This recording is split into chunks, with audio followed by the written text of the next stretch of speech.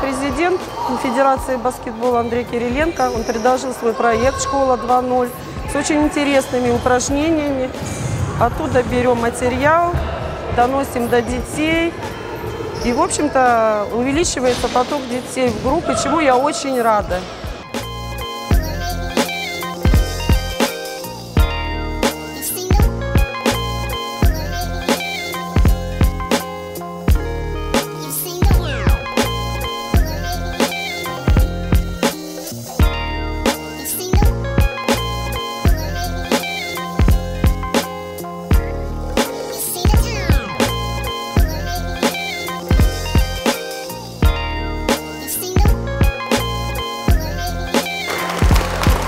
Сергей Ле- Леонидович сказал, то, что вот у него были проблемы в школе, он бросил, у меня тоже сейчас небольшие проблемы, то есть я не очень хорошо учусь, но я тоже как-то стараюсь э, как-то улучшить учебу и в то же время хожу на тренировки.